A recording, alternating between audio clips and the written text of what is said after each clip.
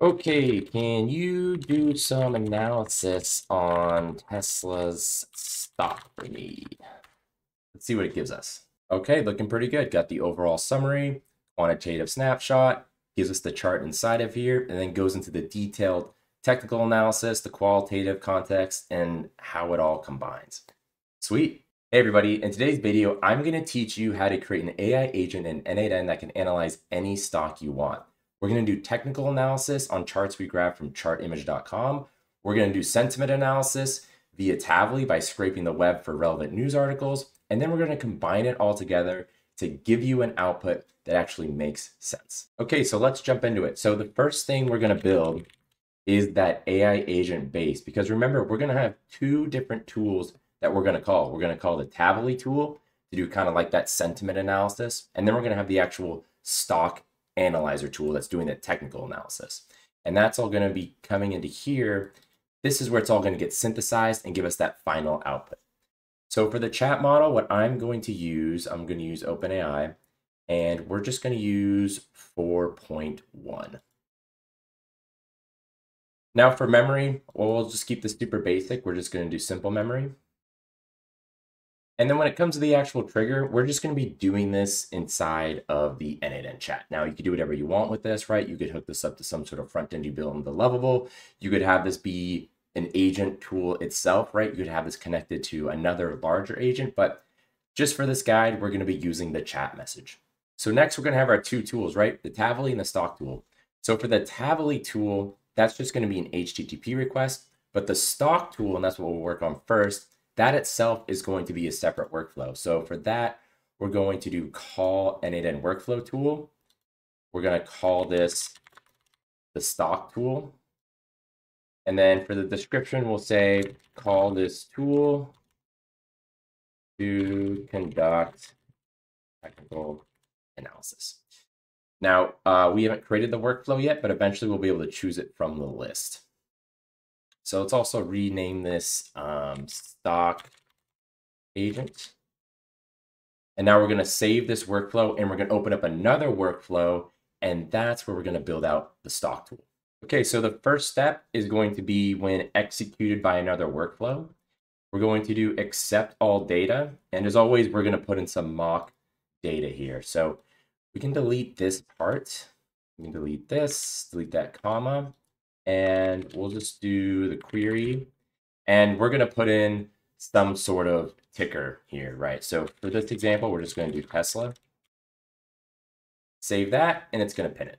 All right, next we're going to do an edit fields because we're just going to, um, we're going to set that ticker as a variable. So we're going to map Tesla into here, and we're just going to call this ticker. That way down the line and throughout the rest of this automation, we can just refer to it as ticker. So we can test the step and we'll see, hey, ticker now shows as Tesla. And let's pin that data as well.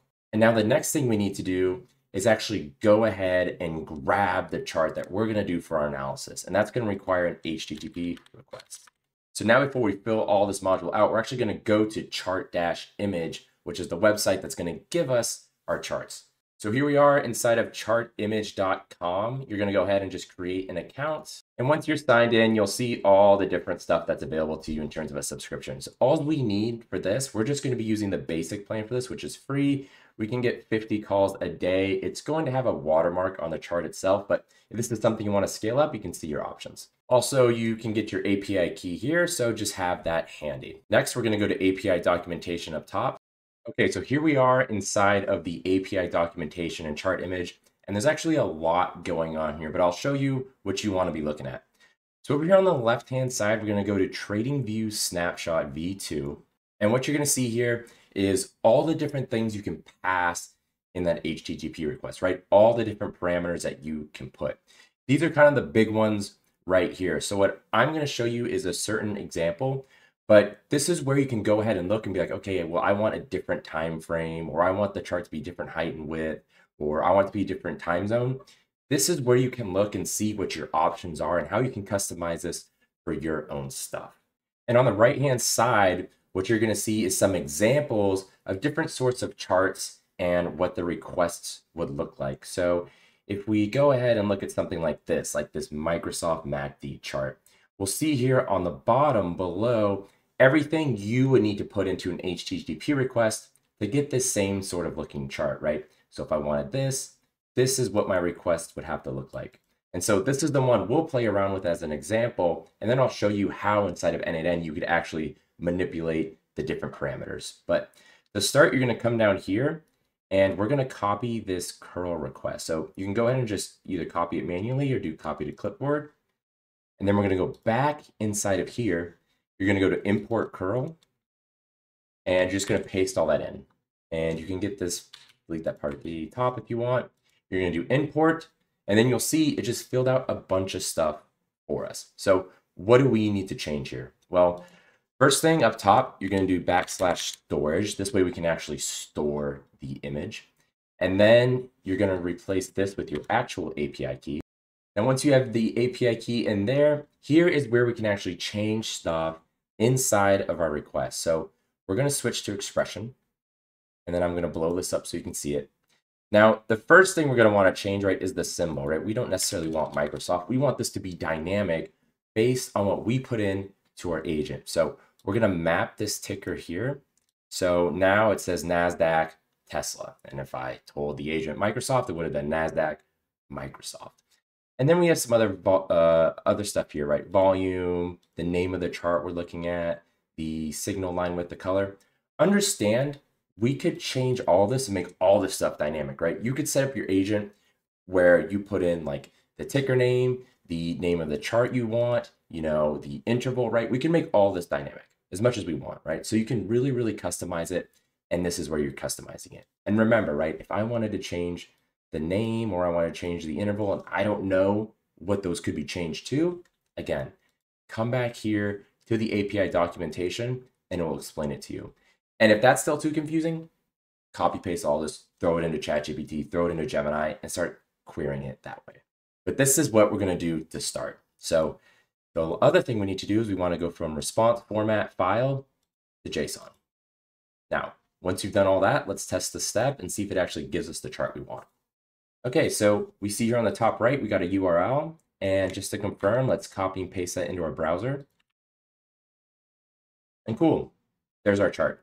So the next step is going to be able to download that chart, do some analysis on it, and then send that back up to our main agent. All right, next step is going to be to actually download that image. So you're going to go do HTTP request. It's going to be get, and then the URL is just going to be mapped from here. So let's test that step. It get the chart? Take a look at the view. There we go. Now we want to pass that chart into some sort of AI so it can now do some analysis for us. So for that, we're going to do basic LLM chain. We're going to do define below. We'll come back to what we'll put in that prompt in a second. Come down here to add prompt, go to user. Message type is going to be image. It's going to be binary, and you can keep all that the same. Now, let's talk about this prompt because this is where you're going to actually make your money when it comes to the technical analysis on this chart.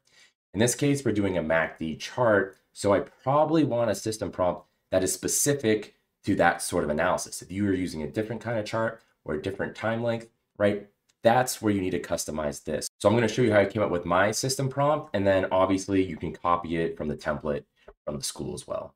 Right, so here's a look at my system prompt for this, right? It breaks it down into how I want to interpret certain elements, what the time frame is, and what I want the actual output to look like. But I obviously didn't come up with this myself. So what I did is I went to Gemini, which is my favorite AI right now. And all I did was I said, hey, Imagine you're an expert in prompt engineering. What should the prompt look like for the system prompt if we want the best possible analysis on a MACD chart? And he gave me this. And honestly, it's been pretty good. It even gives reasons why it thinks the prompt is really good. So just in general, when it comes to system prompts, go ahead and go to AI and see what it can build for you. And so once we got that in there, uh, we're going to go ahead and test this step. And as always, I forgot to actually attach a model to this thing. So we'll just back out real quick, go to model, I'm going to use just 4.1 mini for this. And now let's check it out. Okay, so we can see it gave us a pretty detailed output, which is good enough for now. And so next thing we do is we want to map some responses so it knows what to send back up to that main agent. So we're just going to go to edit fields. So once you're inside here, we're going to call this response. And we're going to map both the output and we're going to map that uh, image. So make sure you're taking that from the HTTP request one, that second HTTP request that actually downloaded it. And then you can test this step. Sweet, back out of here, we're going to save this, and then we're just going to map that to that main agent. So I just wanted to real quickly give a plug for my Skool community where you can get all the templates and more guidance on all the AI agents you see in my videos here. I also have even more videos that you can't find on YouTube, including stuff for marketing, AI agents for business, RAG agents, and all sorts of stuff. Our community is growing rapidly, so would love to have you there. And if you're looking for a place to kind of level up in your AI agent game, check us out. There's a link down in the description. So here we are back with that orchestrator agent. And now we've completed our stock tool. So we're going to come into here and we're just going to find it. So we should have stock tool demo, which I got for me. And we're all set. Next, we're going to be using Tavily to actually do some sentiment analysis on the stock we're looking for. So we're going to start this out by going into the chat message and just putting in some fake data, as always. So get rid of all this. We're going to call this query as well. And we're just going to put in whatever ticker you've been using. So in this case, we'll just put in S. Save that.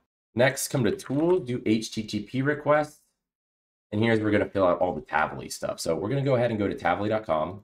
And tavily.com, if you've never used it before, it's a great web scraping web search tool for LLMs. And the best part is you get a thousand credits a month for free, which is great. And it refreshes every month. So once you log in, you'll have your API key right here. So have that handy. And then we actually need to fill this out, right? So come to documentation on the left. You're going to go to quick start. You're going to scroll down here. You're going to find curl. We're going to copy that.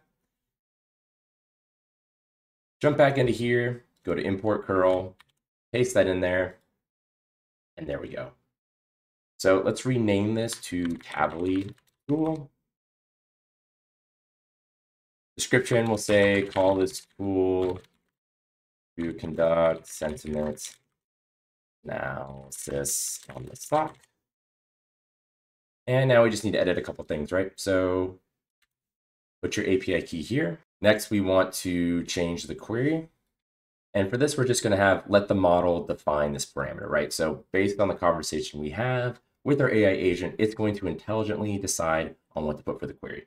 And now we have a few more parameters we can add here. So we're going to do search depth. We're going to do advanced. Then we're going to do days. We're going to do seven. Now, where did I come up with these parameters? Again, this was inside the Tavily documentation.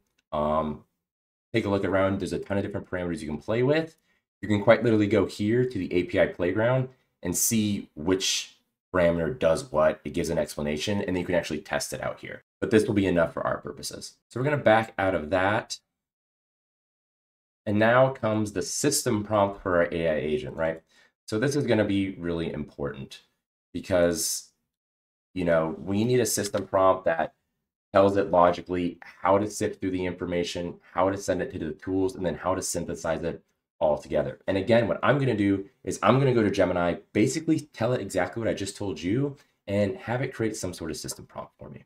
So here's what the system prompt looks like that it gave me, right? It explains what the inputs are going to be, what I want the process to be, right? I want you to identify the ticker. I want you to do some qualitative context and sentiment analysis with Tavily. Then I want you to do a deep dive into the technicals, combine it all together, and then give me some sort of output I can actually work with. You also note at the bottom, I also put in the time. And so here's me going into Gemini. I kind of gave it an example of what I was using already for system prompt, and I just kept going back and forth with it, asking to give me something that was better. And again, this exact prompt is inside the template. And so once you put that in there, let's actually test this out. So we can go ahead and test that. And um, of course, I forgot something super simple, the actual simple memory. Uh, looks like we have simple memory, so I'm not sure why this is erroring out. So I'm just going to save this, refresh it. Love some live troubleshooting. Um, I'm just going to unpin this, right? And then let's actually just take it from the top and see how it goes. So let's open up a chat message and we'll say we're literally just going to type in Tesla and see how this goes. So we see it's hitting both the tools, which we love to do. It hit finished up with Tavily first. And now it's going through the actual analysis with the stock tool. Now, hopefully what we should see is a pretty robust output that includes either a link to the image or the image itself embedded in this response. Okay, let's take a look. Gives us an overall summary. Gives us a quantitative snapshot with like market cap and revenue. Actually embeds the chart into the response, which is nice. Goes into detailed technical analysis, qualitative context, great, integrated outlook, cool. And then even gives us the chart again at the bottom, along with kind of like a final bottom line. So pretty good. We can go ahead and look through the logs and see how it did all this, right? We can see it went into Tavily. It the all we said was Tesla, and the query it put in. Remember, we had the AI figure that out. It said Tesla recent news, stock sentiment, and analyst outlook. We can see its actual uh, sources as well and what the content was. Then lastly, it went to the stock tool and it pushed this response into there. And then we can kind of see everything going into work, right? So this is the actual like last step and we can see the input that went into it. So you can see how it grabs the system prompt. You can see how it also gets this detailed like MACD analysis from our stock tool. You can see the image it passes. And then we also see the Tavily tool. So um, that's nice to see. It's actually doing what we want it to do, right? It's taking both stuff. It's not just taking one and not the other. Um, and that's why always with these kind of like robust multi-tool um, agents, always go through the logs to make sure stuff is actually getting the data it's supposed to. Because if it wasn't, it could probably still give us a decent output that looks legit, but isn't really, really that great. And so if you followed up this far, like congratulations, you created a uh, AI agent that's able to search the internet and do analysis on whatever stock you give it. Um, I'd continue playing around with it, go into that stock tool, mess around with the parameters as much to really customize it, and then just know you're really going to make your money in these system prompts, right? So if you're not getting what you want from this, go into system prompts, go back and forth with AI, and really, really customize it. So um, yeah, as always, let me know how this worked for you, and good luck.